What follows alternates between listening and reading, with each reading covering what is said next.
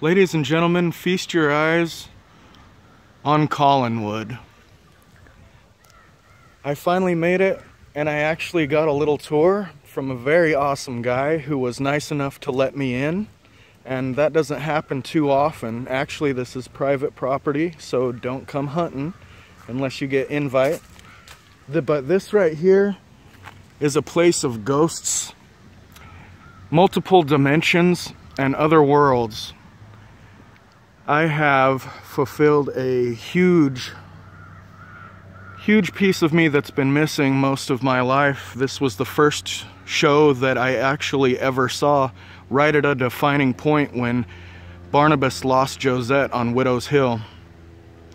And this is more than I ever thought. This is more than I bargained for, and it's been absolutely incredible. I'm very thankful for today. That's Collinwood Mansion, otherwise known as the Carey Mansion today. Do your research and check it out. It actually has its real ghosts as well. It's a beautiful day in Newport, Rhode Island.